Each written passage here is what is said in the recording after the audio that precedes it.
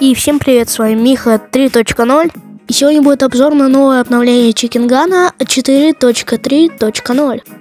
И да, я знаю, то, что до меня успели заснять такие ютуберы, как Имщи Чикен и Дэн 19К.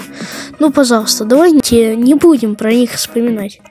Потому что один появился как герой, а, а у другого просто был iPhone. Ладно, прочь политику и давайте начинать. Добавили овер дофигищи много костюмов. Один даст в виде Спанч Боба.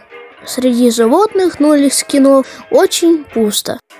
Забегая быстро вперед, хочется упомянуть то, что добавили новый класс. И если мне не изменяет память, то это ручной пулемет Брэд. И, пожалуйста, не спрашивайте, откуда я, no-name мальчик, знаю больше, чем политические дядьки. Также добавили две новых карты, это Супермаркет и Town 3F RTL. Также добавили Туман и Ночь. Если мы подлетим к баннеру спортивного магазина, то у нас появятся мемчики.